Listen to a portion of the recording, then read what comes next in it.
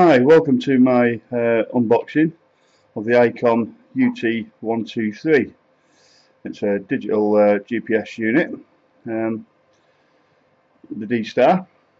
Uh, it's for the ICOM ICE 2820. Um, let's get into the box and I'll show you what this is all about.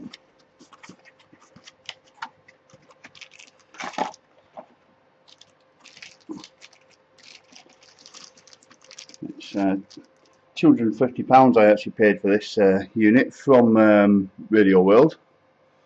I was going to get it to from um, due to the fact um, I've had a few problems lately uh, with uh, Radio World.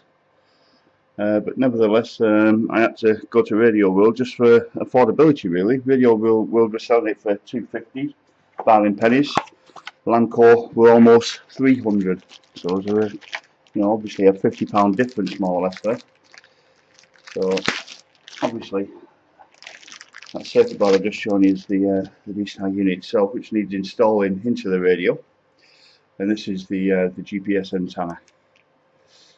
Uh, show that there. I think it's about five meters long, if I'm not mistaken. Um, this part uh, is the part that plugs into the radio itself, into the uh, into the Icom E uh, 2820 and install this part uh, hopefully somewhere on a, on a window inside. It's not waterproof so it does need to go uh, inside the, your car. And obviously three uh, three screws to actually uh, mount um, the board into the radio. Anyway that's it. That's the unboxing. Um, that's it of my um, ICOM UT 123 for the ICOM ICE 2820. Uh, I might even show you a, an installation video um, when I get around to installing it, uh, which might be today. Thanks for watching.